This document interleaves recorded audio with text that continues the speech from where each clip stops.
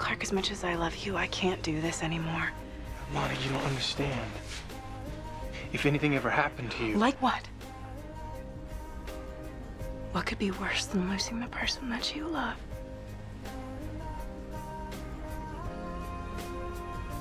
Nothing.